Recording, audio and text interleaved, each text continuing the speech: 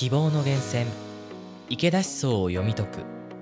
作家佐藤勝。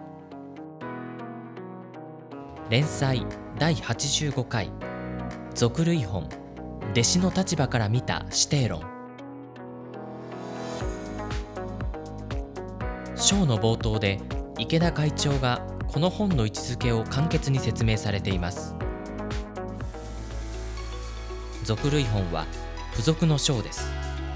付属とは後継です。後継とは指定です。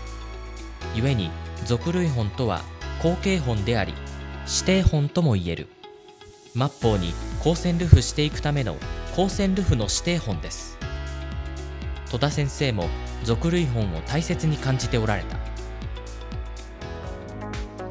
もちろん法華経の知恵という大著全体が広い意味では光線ルフの指定論になっているのだと思います。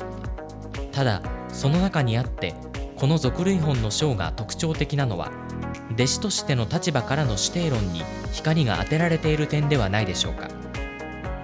例えば次のような一節があります。指定とは弟子の自覚の問題です。形式ではない。師匠に何回会ったとかそばにいるとか幹部だとかそれは形式です。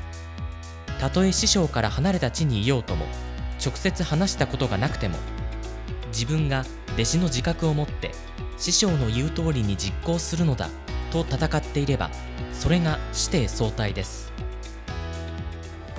これは若き日の池田会長がどのような覚悟で師である戸田会長に仕え支えてきたかを反映した言葉なのでしょう。